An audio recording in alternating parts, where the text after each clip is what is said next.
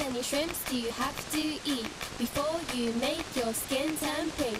Eat too much and you'll get sick. Shrimps are pretty rich. Nope, okay, nope, nope, nope, we're done. Nope, bye.